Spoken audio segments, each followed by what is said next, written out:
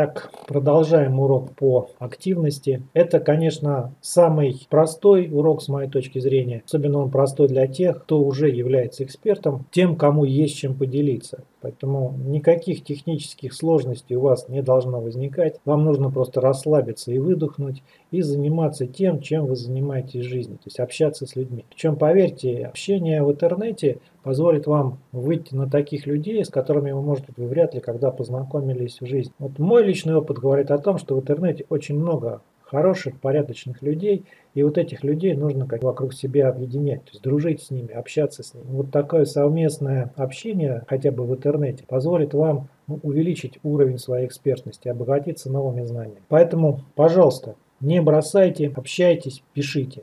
В этом уроке мы поговорим о том, что называется второй этап активности, потому что для чего мы привлекаем внимание к нашему профилю? Чтобы начать с человеком общаться уже в личной переписке. У вас для этого должна быть какая-то причина. И причин этих можно найти достаточное количество. Причем, если причина очень объективная и понятна, вы, начиная общение с человеком в личной переписке, можете эту причину сразу обозначить. Ну, например, вот сейчас добавился ко мне человек друзья. Либо приняли мою заявку друзья. Что можно сделать? Можно открыть страничку этого человека. Он уже является вашим другом. Он либо принял, либо сам добавил вас друзья. Нажать на кнопочку «Написать сообщение» и начинать с этим человеком общаться. Почему вы это можете сделать? Ну, потому что человек проявил какое-то ответное действие на вашу активность в социальной сети в нашем случае принял заявку. Либо кто-то взял, прокомментировал ваш пост, либо взял, сделал лайк на вашем посте. Вы можете открыть, опять же, страничку этого человека. Если он не является вашим другом, возможно взять и нажать, послать ему приглашение, друзья, а возможно взять и начать с ним общаться, нажав на кнопочку «Написал сообщение». Конечно, человек, который нажал лайк, он может и забыть, что он нажал лайк над вашим постом. Человек, который написал комментарий под вашим постом, этот человек уже вряд ли забудет, потому что это довольно осмысленное действие. Человек, который только что добавился к вам в друзья, это однозначно человек, скорее всего, понимает, что он делает. Если, конечно, вы добавили в друзья а, профиль живого человека. Поэтому у вас есть возможность начать с человеком общаться. Причем, если зайдя на страничку человека, вы видите в правом верхнем уголке, ну, ВКонтакте написано онлайн, значит этот человек в сети. Вот над профилями, которые находятся онлайн, есть смысл совершать и какую-то активность первичную. И тем более над такими профилями, которые сейчас находятся онлайн, есть смысл совершать второй этап активности, то есть писать им сообщения. Хотя в этом уроке и будет прикрепленный текстовый документ, этот текст документ называется скрипты. Что писать человеку, который добавился в друзья? Что писать человеку, который принял заявку в друзья? Что писать людям, которые прокомментировали, пролайкали ваши посты? Но убедительная просьба. Почитайте эти скрипты и просто ими больше не пользуйтесь. Потому что, когда человек начинает пользоваться каким-то скриптом, что он чаще всего делает? Он берет какой-то текстовый документ с вариантами ответов или с вариантами приветствий, выбирает этот ответ, копирует его и это кидает в личное сообщение какому-то человеку. Просто берет вот сюда вот в личку и начинает ему писать. Это не общение, понимаете? Причем вот эти скопированные сообщения видит и сам человек. Он видит, что вы очень быстро ему написали ответ из пяти предложений. И это видит сам контакт. Контакт понимает, что это сообщение не набрано, не напечатано, оно просто скопировано. Причем, когда этих сообщений вы одинаковых раскидаете разным людям уже хотя бы больше 100, контакт, и кто-то из людей начнет жаловаться на эти сообщения, очередная попытка отправить такое же сообщение, это опять же прямая дорога в бан вашего. Поэтому не надо пытаться работать по скриптам. Это всегда плохо. Это можно разрешить только людям, у которых нечего сказать. Если вы эксперт или начинающий эксперт, всегда лучше экспериментировать. Пытайтесь общаться, пытайтесь находить контакты с людьми. Причем в интернете здесь очень хорошо можно практиковаться. И самое страшное, что может случиться, вы можете получить заморозку своего аккаунта. Пожалуйста, к этому относитесь спокойно. Если вы внимательно отнеслись к домашнему заданию по оформлению первого продающего поста, в этом задании я говорил о, о формуле продающего текста, это АИДа. И ваше общение в социальной сети, в личной переписке, вы тоже должны выстраивать вот по этой формуле.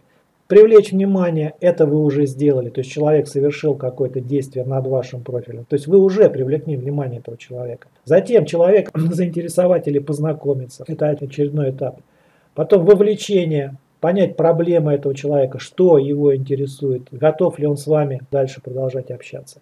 Конечно, ваше предложение, что вы можете этому человеку предложить и однозначно какое-то действие. Потому что если вы общаетесь с человеком, не имея никакой цели, а ваша цель это пригласить человека на консультацию, то есть если вы с ним просто переписываетесь, то есть то, что называется флут в социальных сетях, это общение без какой-то схемы, без какой-то структуры, вы просто тратите время. Поэтому ваша задача четко понимать, по каким этапам своего общения вы должны провести человека.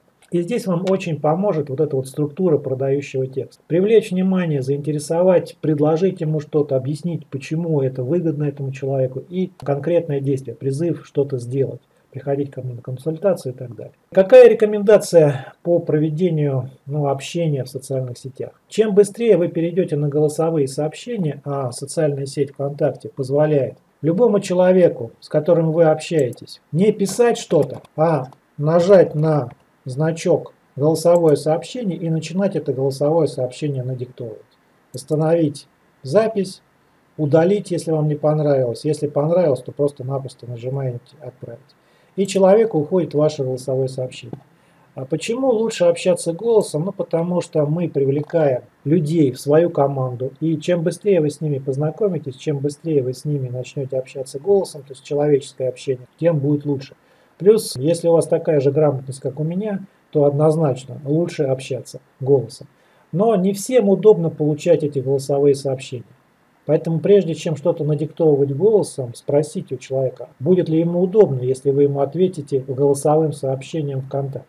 Если человек скажет, да, окей, пишите или там отвечайте, то тогда начинаем с ним уже общаться сразу голосом. Вот такие несложные рекомендации. Они очень все естественные и очень понятны. Я ничего тут не рассказал такого нового. Единственное, еще раз повторюсь, я об этом говорил при комментировании постов в группах, на стенах.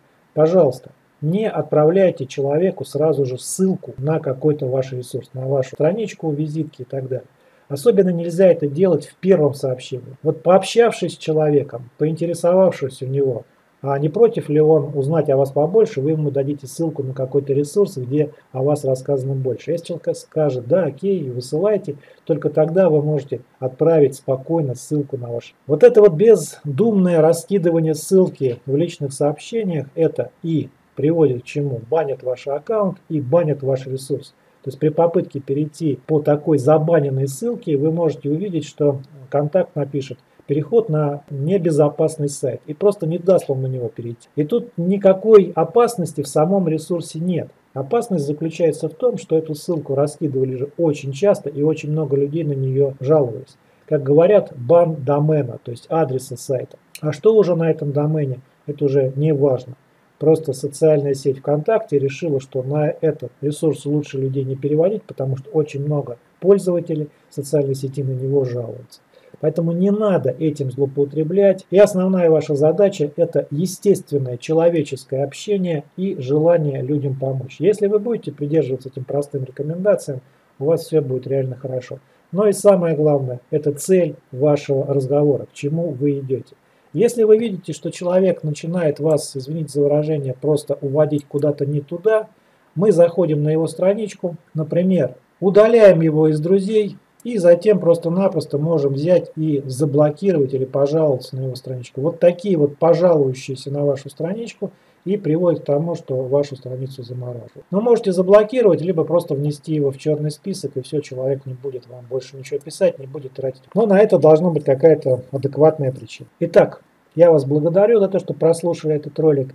Будет еще один ролик, в котором я расскажу, как э, получить активность с помощью того, что называется сервиса.